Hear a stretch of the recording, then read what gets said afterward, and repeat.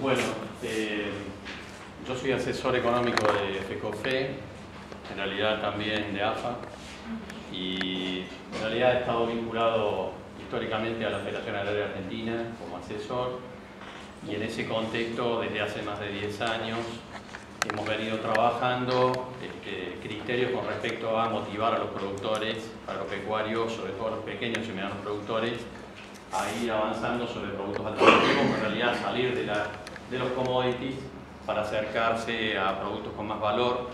Y en ese contexto, por supuesto, nuestro mensaje siempre desde hace una década tenía que ver con integración horizontal y vertical en términos de esos pequeños y medianos productores. Así que lo que vamos a comentarles aquí primero, eh, el ingeniero recién decía la conexión entre los exportadores y los productores. En realidad, la posición nuestra de trabajo nunca es esa, sino es la de que los productores se transformen en exportadores de manera integrada. Eh, y en realidad ese es el esquema con el que trabajamos. Así que lo primero que vamos a mostrar es parte de nuestro discurso que venimos teniendo desde hace años con respecto a por qué había que estimular a los pequeños y medianos productores para que salieran de los commodities. ¿Cuál era el mensaje con el cual trabajamos? Así vamos a empezar con ese mensaje y después vamos a plantear los criterios, además con los que hemos estado siempre discutiendo precisamente los temas de cadenas de valor y los factores, los aspectos comerciales. Y finalmente queremos comentarles todos los criterios trabajados en un proyecto que se está desarrollando a través de FECOFET, de cual se mencionó acá el desarrollo de algunas plantas. Y lo que vamos a comentarles es cuál es el proyecto integral sobre el que FECOFE está trabajando los productos alternativos y la cadena de valor de algunos de esos mismos productos alternativos en términos de industrialización. Así que vamos a empezar mostrando nuestros argumentos. ¿Por qué, por qué junto a los productores eh, en el año 2000, 2001, 2002 empezamos a plantear que había que salir de los commodities? Y había parte de eso tenía que ver con eh, el planteo precisamente de cómo estaban, cómo estaban expresadas las reglas de juego. Nosotros en el 2002-2003 sobre todo a partir del 2003, empezamos a utilizar un argumento fuerte con productores pequeños y medianos en favor de los productos alternativos y particularmente de productos como maíz sin gallo, girasol confitero, etc. Y para eso mostramos esta imagen. Porque muchas veces eh, es común que, eh, sobre todo en el sector agropecuario, ah, y en realidad en muchos sectores empresarios, el argumento utilizado de que la Argentina es un país imprevisible, que nunca se sabe lo que va a pasar dos meses después y que por lo tanto uno nunca puede tomar proyecciones de mediano y largo plazo ni proyectos de inversión porque el país es impredecible. Nosotros en realidad a partir del 2003 empezamos a mostrar estas imágenes, estas son, esta es la estructura de las retenciones de las exportaciones que planteó el gobierno argentino ¿eh? Eh, desde hace una década. Y nosotros decíamos en el 2003 que acá había un mensaje, que había un mensaje políticamente expresado Pensemos lo que estaba puesto en trigo. Retención de granos 23%, harinas 13%, eh, productos procesados 5%. En realidad había un mensaje, no sé qué les parece. ¿El mensaje cuál era? ¿Querés exportar la materia prima sin procesar? Te vamos a castigar. En la medida que exportes el producto con más valor agregado, vas a tener mejores condiciones de exportación. Y en realidad nosotros identificábamos ahí además que había productos como el maíz sin gallo y otros más, casi todos los productos especiales, en realidad, cuyas retenciones a las exportaciones en general estaban en el 5%, solo algunos podían llegar al 10%, y si había algún producto industrializado eh, que estaba por arriba de eso era por algún error, pensemos que lo vamos a mencionar, la avena arrollada, por ejemplo, un producto que tiene una retención de exportación del 20%, vaya a saber por qué, en realidad es casi diría un error técnico que ojalá que ahora con el nuevo ministro de Agricultura que viene del INTA lo podamos, nos podamos sentar a discutirlo, de por qué efectivamente ese producto tiene esa posición. Pero nosotros empezamos entonces a plantear a productores que había que ir sobre productos alternativos, que tenían menos retención en las exportaciones. Y muchas veces nos encontramos con productores que nos decían, ah, ustedes dicen que hay que hacer maíz sin gallo, pero en realidad cuando el gobierno se dé cuenta que están haciendo eso, le van a subir la retención a la exportación. Y nosotros la verdad cuando escuchamos a alguien decir eso, decimos, eso es un planteo paranoico. Es decir, pensar que el gobierno iba a hacer una cosa como esa. En realidad era no entender la lógica política sobre la cual están planteadas las retenciones. O pensar solamente que las retenciones estaban planteadas desde un punto de vista de, de recaudación. En realidad nuestro argumento era, el maíz sin gallo básicamente va al mercado de exportación. Que el gobierno intervenga sobre algunos productos, y pensemos el trigo, ciertamente que lo hizo, tiene que ver con productos que, tienen, que están vinculados al consumo interno, puede ser. Es decir, productos que tienen un perfil político. Y por supuesto que sobre productos que tienen un perfil político, uno podía esperar que un gobierno intervencionista interviniera si sentía que sus este, intereses estaban afectados en esa posición. Pero eso por supuesto que no incluía el maíz sin gallo, ni incluía el girasol cojitero, ni incluía ninguno de los demás productos de lo que se han hablado aquí, porque no están vinculados básicamente al mercado interno. Pensar que un gobierno iba a simplemente con un capricho a actuar sobre un producto que estaba creciendo en términos productivos, si no lo afectaba políticamente, era nosotros decíamos ser paranoico. El estar mirando mal la película. Y en realidad este era uno de los argumentos más fuertes que empezamos a usar en el 2003 para alentar a productores a eso de productos alternativos. Ahora, muchas veces la gente nos decía, bueno, ustedes dicen que hay que hacer maíz sin gallo, ese es el negocio. Nosotros decimos, por supuesto que no, el negocio no es hacer maíz sin gallo, el negocio es vender. Es decir, pensar que voy a hacer maíz sin gallo y ahí está la gran diferencia no tiene demasiado sentido si no estoy subido de canal comercial sobre el cual se va a desarrollar el producto. Ahora, esta, esta, fue la respuesta productiva del maíz sin gallo en Argentina a partir del 2003. Lo cual refleja que efectivamente hubo un incentivo para ir sobre el producto, que en parte estaba vinculado con un diferencial de retención a la exportación sobre el maíz convencional. Y efectivamente esto se produjo, como ya vamos a ver un gráfico, se produjo en otros productos más, y Argentina por supuesto que creció en este producto como en tantos más, y el gobierno argentino no cambió su criterio con respecto a la exportación, no se produjo la actitud paranoica que algunos esperaban, de que iba a haber una respuesta del gobierno para frenar este negocio. Eso por supuesto no ocurrió. Ahora, este que decíamos recién, de lo que expresa la grilla de retenciones a las exportaciones, era, era una parte de las, de las respuestas que nosotros teníamos o los planteos que hacíamos, porque esto expresaba una oportunidad. Pero por supuesto que además de oportunidades, nosotros muchas veces planteamos lo que son las amenazas. Este gráfico es relativamente conocido dentro del INCA, porque es un gráfico que utiliza el ingeniero Ragazzini habitualmente eh, y que se utiliza mucho en el PRECO, que muestra efectivamente lo que ocurre a lo largo de décadas en los procesos de producción. Eh, este gráfico es de una universidad norteamericana y expresa qué porcentaje de la producción se quedan los productores primarios sobre el valor agregado de un producto en góndola y el resto de los sectores. Está hecho para Estados Unidos desde la década del 30 hasta, hasta esta primera década del siglo XXI y esta línea que tenemos acá expresa lo, que, lo que tienen los productores en el precio final. Lo que tenían en la década del 30 y lo que tienen ahora. Y cómo van avanzando el resto de los sectores. Si pensamos a veces en los reclamos de las entidades gremiales agropecuarias eh, en la Argentina y en otros lugares del mundo, cuando se habla de nosotros teníamos hace tanto tiempo tal precio en góndola, ahora tenemos solo este porcentaje, y eso está mal. Pero en realidad está claro que esto es parte de un proceso que va desarrollándose en el tiempo y yo siempre usaba como ejemplo lo que significan los maíces inflados, ¿no es cierto?, que consumen azucarado, que pueden consumir los chicos. ¿eh? Y uno dice, si uno va a una góndola y se encuentra con una caja de maíz inflado, ¿eh? azucarado, el precio del maíz que está adentro, ¿qué representa del producto final? 2%, 1%, insignificante. Realidad el resto de lo que es packaging, marketing, servicio, proceso industrial. Y en realidad lo lógico es que este sea un proceso que efectivamente avance. Vos mencionabas que estás en el tema congelado, ¿no es cierto? Si uno mira en los supermercados de cualquier lugar del mundo, el espacio en metros cuadrados que van ocupando los congelados, ¿no es cierto? En, hortalizas, en, productos. En realidad, ¿qué representa eso? Representa una tendencia irreversible, puede ser, de la gente que en los grandes centros urbanos no tiene tiempo. ¿A quién se le ocurre que va a ir a comprar en una ciudad grande, a una verdulería, un zapallo así grande para poner en la heladera? Es ridículo.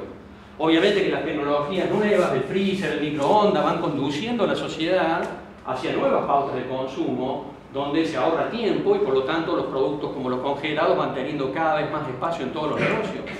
Quien solamente se queda en la faz primaria, es lógico que va a tener cada vez una porción menor del precio puesto en la góndola, de cualquier producto de que se trate. Y acá no se trata de si los gobiernos son buenos o malos. Se trata de procesos tecnológicos, de cambios culturales en las pautas de consumo. Y por lo tanto, si quiero tener la misma porción del precio en góndola, voy a tener inevitablemente que subir eslabones a lo largo de la cadena de valor. Y por supuesto que en ese proceso, además, o este, o este proceso que estamos mirando acá, que no es argentino, es internacional, está también mostrando la otra faceta de que en un esquema de negocio donde los productores son una porción cada vez menor del precio puesto en góndola, eso expresa también irreversiblemente una carrera de escala, donde los productores que operan solamente en las fases primarias tienen que ser cada vez más grandes para sostenerse en el negocio y me expresa la desaparición de pequeños y medianos productores. Si eh, nosotros estábamos trabajando en la Federación Agraria con FECOFE y con AFA, en realidad estábamos trabajando con qué? Con pequeños y medianos productores. Y por lo tanto el planteo cuál es? Teníamos que avanzar necesariamente en la cadena de valor para poder preservar la situación de los productores. En esta película que nos parece irreversible. Ahora, el otro argumento muy fuerte que usamos siempre sobre el tema de los commodities es este que está acá. ¿Por qué? Porque en la Argentina siempre tenemos tantos mitos sobre el tema de nuestro rol en el mundo, el granero del mundo, como decíamos en el 20, el 30, tantas estupideces que hemos dicho a lo largo de tanto tiempo. Y en realidad, este gráfico, está hecho, lo hemos extraído de, de un Congreso Internacional de Economía hace seis meses, muestra el precio de los commodities a nivel internacional. Pero no está mostrando el precio de los commodities a nivel internacional a lo largo de los últimos años, sino que este gráfico arranca de 1805. Pensemos cuál es el mito. El mito, dicho hoy en la Argentina de tantos lugares, dice más o menos esto. El mundo necesita cada vez más alimentos, lo cual es cierto. La demanda de alimentos va siempre para arriba en el mundo. Y la oferta tiene problemas para adaptarse a esa demanda. Si yo tengo una demanda de alimentos que a lo largo del tiempo es creciente siempre y tengo problemas de oferta que no pueden responder a eso, entonces quiere decir que los precios de los commodities y los alimentos deberían ir siempre para arriba, ¿puede ser? Esa es lectura. Si la lectura es correcta, entonces yo digo, Dualde tenía razón en el 2002 cuando dijo que estábamos condenados al éxito, ¿puede ser? Entonces estamos condenados al éxito porque los precios de las cosas que nosotros hacemos van a valer cada vez más en el mundo, entonces nos podemos ir a dormir la siesta, total, estamos condenados al éxito, ¿qué vamos a tener que hacer si todo juega a favor nuestro? Bueno, ese gráfico nos plantearía que eso es un mito y que eso no es cierto. La demanda mundial de alimentos está claro que va siempre para arriba, eso está fuera de discusión. Pero los precios no siempre van para arriba. Es más, los precios parecían tener ciclos de subas y luego de bajas, hablando de cómo es. Y eso es lo que expresa este gráfico que está acá.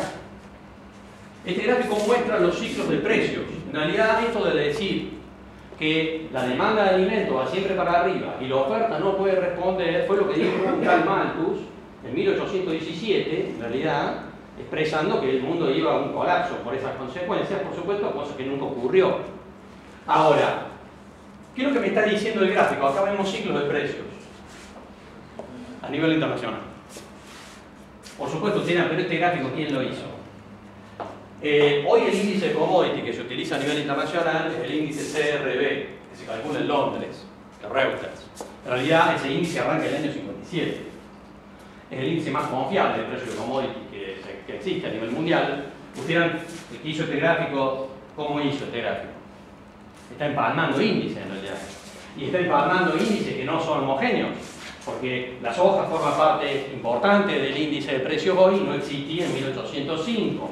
O sea que este gráfico, por supuesto, podría ser discutido entre gente que está en estadística fuertemente y, por supuesto, que va a dar para mucha polémica. Pero lo que queremos mostrar es la visión tendencial del tema de los precios, que muestra cómo los precios suben y bajan en ciclos. Ahora, alguien dirá, bueno, pero si en realidad eh, la demanda mundial sabemos que siempre va para arriba por un montón de factores. ¿Qué explica que los precios tengan ciclos de alza y después ciclos de baja? Y la respuesta es que de tanto en tanto aparece alguna respuesta tecnológica que multiplica la oferta. De vez en cuando aparece un cambio tecnológico y la oferta pega un salto. ¿eh? Yo digo, soy cordobés y cuando uno mira el norte de Córdoba, como era hace 20 años atrás, yo digo, uno se iba de Jesús María para el norte de Córdoba por la ruta 9 25 años atrás y era el churqui cabrito, otra cosa no había ahí. Y hoy hay soja, hoy hay un montón de cosas. ¿Y por qué? Y porque la tecnología cambió. El cambio tecnológico generó un proceso de aumento de la oferta. ¿Por qué nos interesa decir esto? Si ustedes miran lo que está expresando el gráfico, la visión hoy en todos los foros internacionales sobre los temas de los commodities, y particularmente sobre los commodities vinculados con los granos, es que va a haber un proceso de descompresión de precios en la próxima década a nivel internacional. Que va a haber una descompresión de precios en la próxima década. ¿Ustedes en qué está basado ese pronóstico? En el cambio tecnológico. ¿En qué hay un proceso de cambio tecnológico? Si uno mira hoy algunos lugares del mundo, en realidad, ¿qué puede encontrar? Por ejemplo, cuando uno ve lo que está pasando en el centro de África, inversiones de Monsanto, Syngenta, los chinos, todos están apostando fuertemente al centro de África.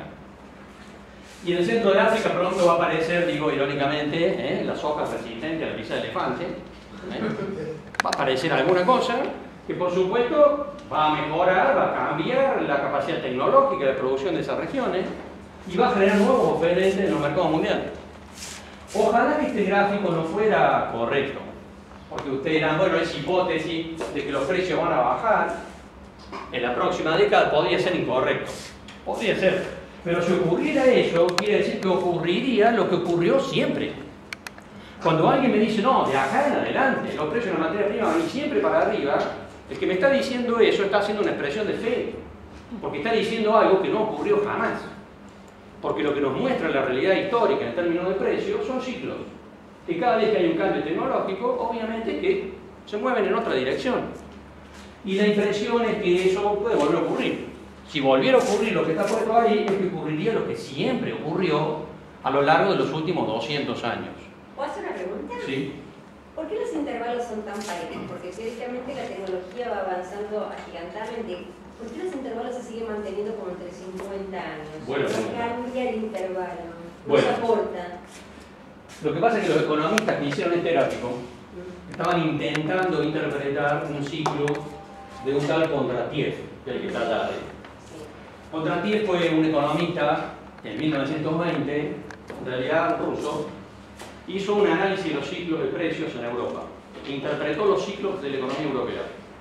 Eh, y supuestamente descubrió, descubrió entre comillas, que la economía europea tenía ciclos de 50 años. En realidad, claro, cuando él lo descubrió, Europa era el centro del mundo, puede ser. Entonces, eran ciclos globales, por supuesto. Los ciclos de expansión y de depresión europeas después se trasladaron también a la Argentina. Si vos tomás la historia de la Argentina hasta la década del 30, ves los mismos ciclos europeos, porque era una colonia, digamos, económicamente de Europa. En realidad, el gráfico está interpretando los ciclos de Kondratiev, que son ciclos, como bien dije de 50 años. Kondratiev, cuando analizó eso, analizó series estadísticas. Ahora, no dijo por qué ocurría eso. Él simplemente dijo, yo veo, yo veo que ocurre esto. ¿Por qué? No tengo idea.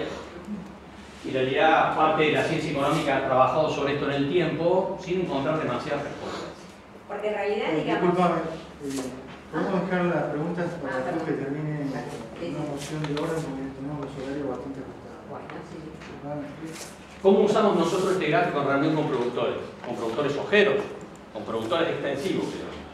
Lo usamos para decir, si esto llega a ocurrir, lo que siempre ocurrió, quiere decir que tal vez en el 2022 o en el 2023, un productor agrícola de Pergamino o de Marcos Juárez va a tener que competir en Chicago con un productor de Tanzania.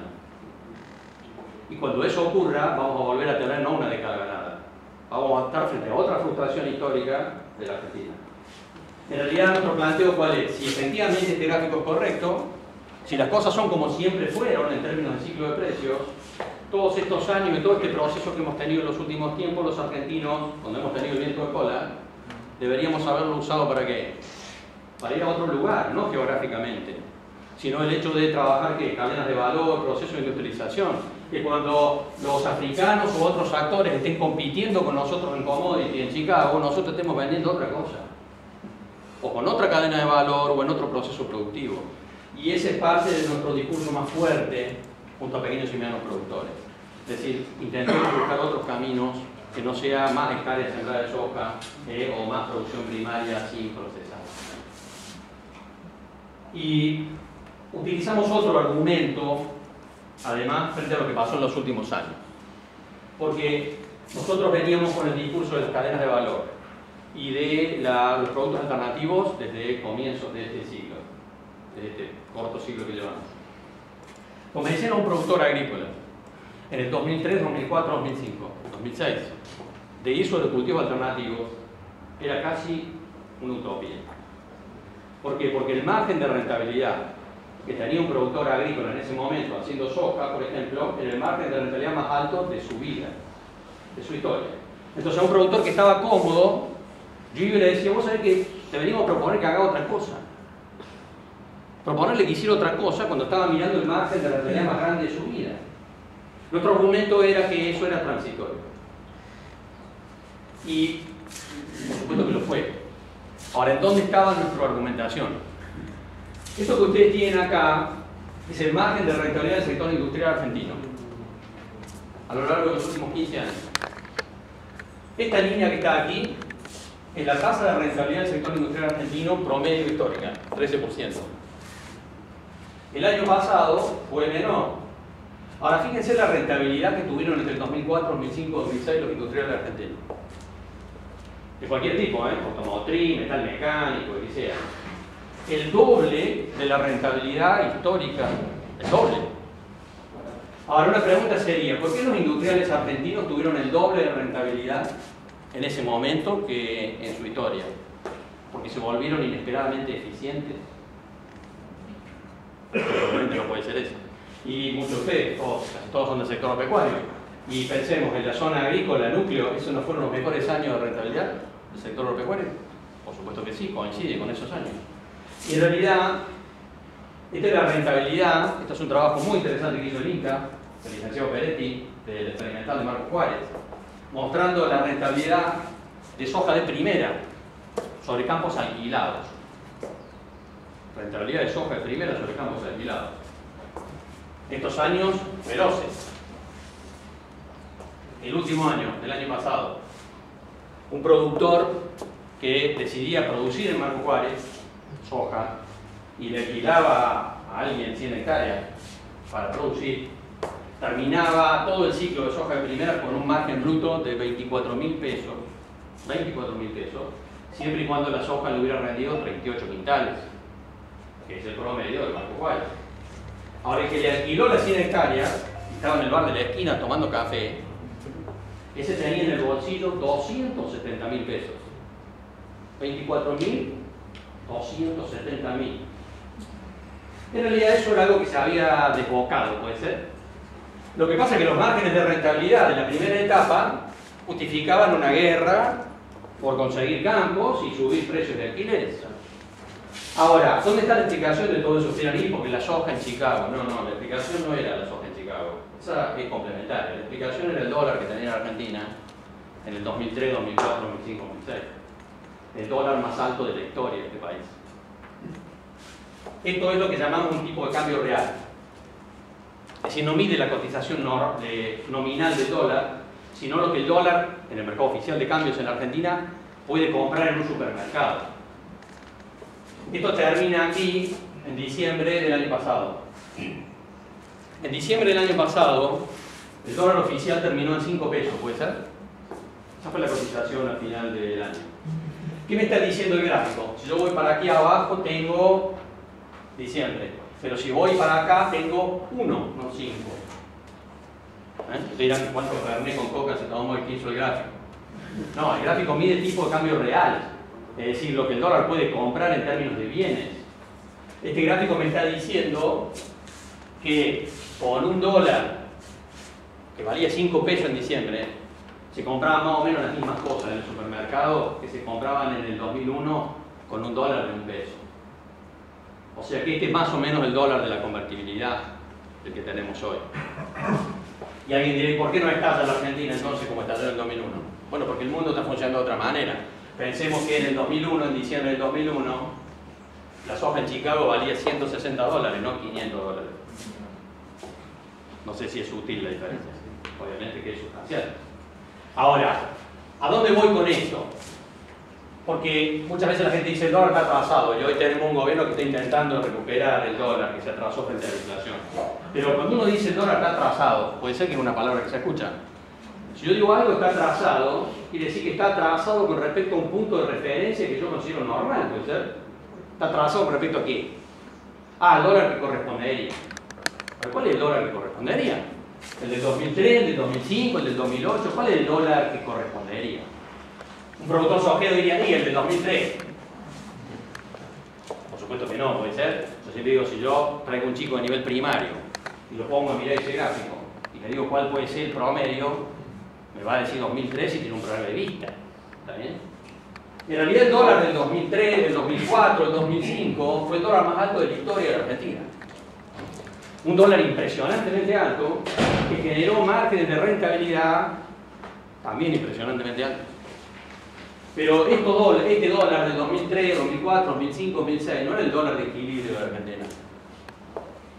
Era el dólar de un país que había colapsado, que lo habían hecho el mundo ¿eh? y que había despoteado su deuda. Era un dólar extraordinariamente alto. Y no era, por supuesto, el punto de referencia de dónde funciona la Argentina. Y por eso entonces tuvimos esto. Por eso los industriales tuvieron los márgenes de rentabilidad más grandes de su historia. Porque hasta hace poco lo teníamos Guillermo Moreno en la aduana, controlando que entrara producto importado. Ahora, en el 2005 hacía falta que hubiera alguien en la aduana controlando eso. Por supuesto que no, porque con el dólar que teníamos, en realidad, cualquier cosa, no entraba cualquier cosa en Argentina, porque no era competitivo. Y nosotros decíamos, con un dólar como aquel podíamos exportar cualquier cosa y éramos competitivos. Pero ese no era el dólar de equilibrio de la Argentina. Ahora, esta reflexión a nosotros nos planteaba decirle a muchos productores que los márgenes de rentabilidad que se vieron en el sector agrícola argentino en el 2003, 2004, 2005, 2006, 2007 son, a nuestro juicio, irrepetibles. Irrepetibles. Son parte de un proceso histórico que duró un periodo determinado y que no va a volver. Ahí mira, no, pero en Chicago no me importa lo que pase en Chicago, porque lo que me importa fue lo que pasó con ese dólar.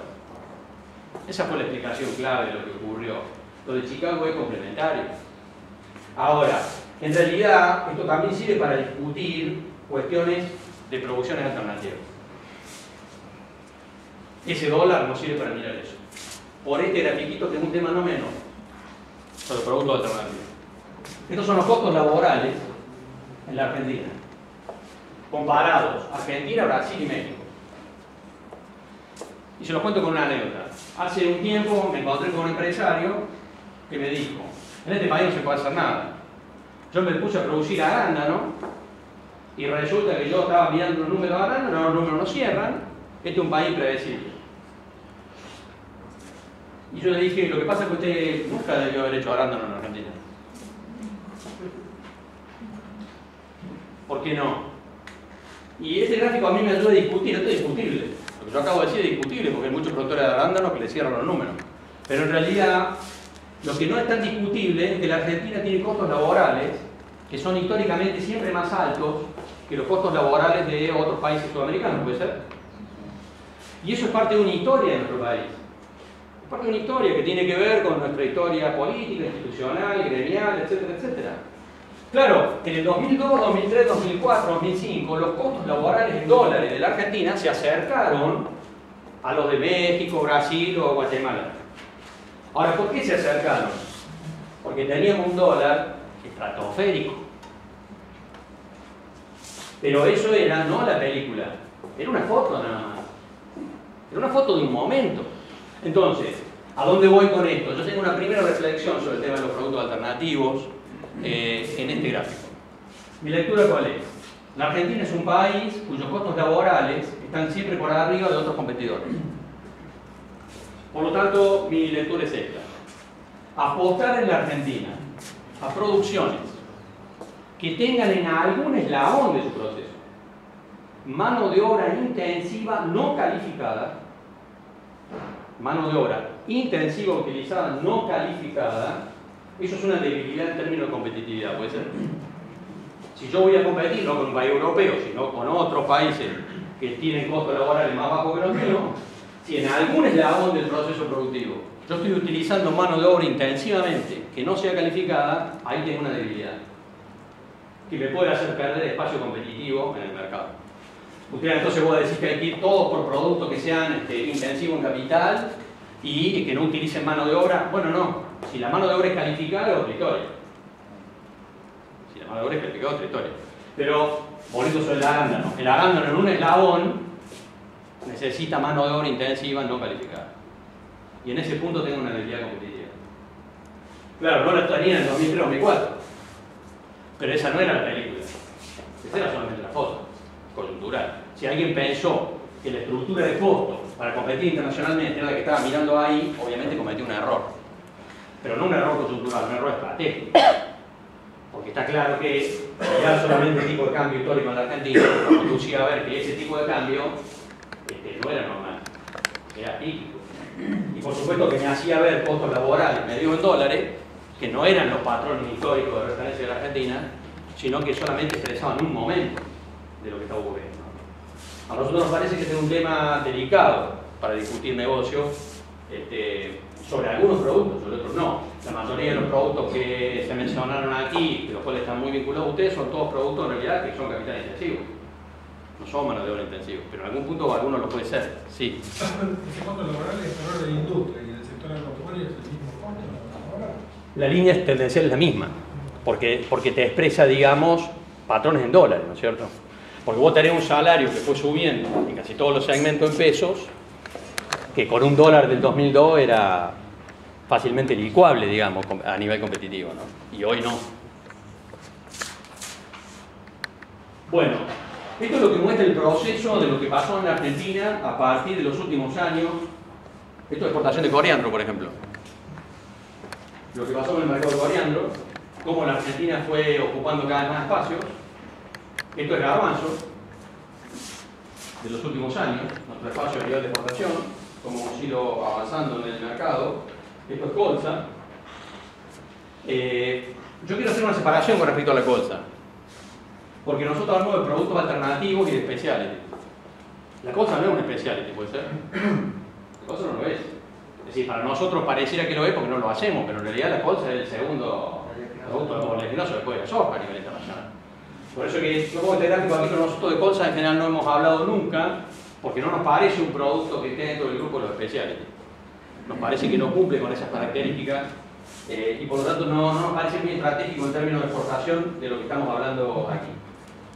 Estos son precios de referencia sobre algunos de los productos, donde tenemos precios de referencia oficiales, los precios detectados últimamente en el GNOSIS. El GNOSIS es un sistema de espionaje comercial, ¿está bien? Ustedes saben que los despachos aduaneros son públicos, en realidad. Son públicos, pero si yo los quisiera rastrear es un lío.